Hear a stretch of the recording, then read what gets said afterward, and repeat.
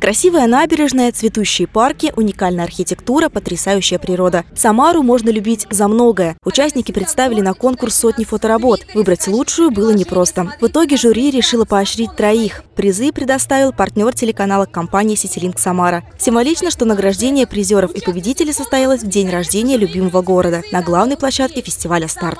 Мы посещали, посещаем телеканал ГИС и ходим и расскажем о фестивале. И с удовольствием приняли а, от вас а, вариант того, то, чтобы вы провели награждение победителей а, конкурса хэштегов а, 429. Вот, с удовольствием прекрасно это дело. Люблю Самару за ее уютные улочки, за то, что в ней много самого-самого. Такое признание участницы конкурса Ольги Савельевой не могло оставить равнодушными сердца членов жюри. Девушка заняла третье место и получила приз – планшет. О конкурсе я узнала из интернета, и сомнений не было, решила сразу принимать участие в нем.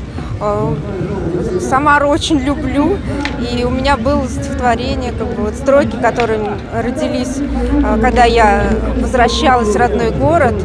Вот. И я увлекаюсь фотографией, поэтому сомнений сразу не было. Второе место и приз в виде экшн-камеры достались Алексею Веревитину. Ну а победителем конкурса от телеканала «Самара ГИС» при поддержке администрации городского округа Самара стал Владислав Агапкин.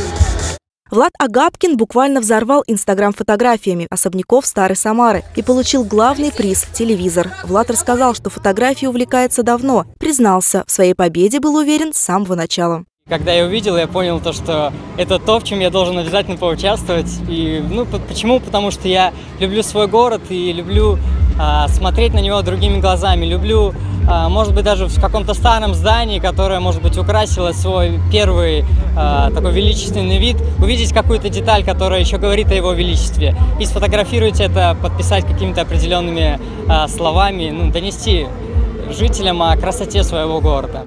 Конкурс завершен, но телеканал «Самаргиз» обещает ждать следующего недолго. Следите за эфиром, читайте новости на нашем сайте, и тогда вы будете в курсе всех событий. Юлия Север, Станислав Левин. События.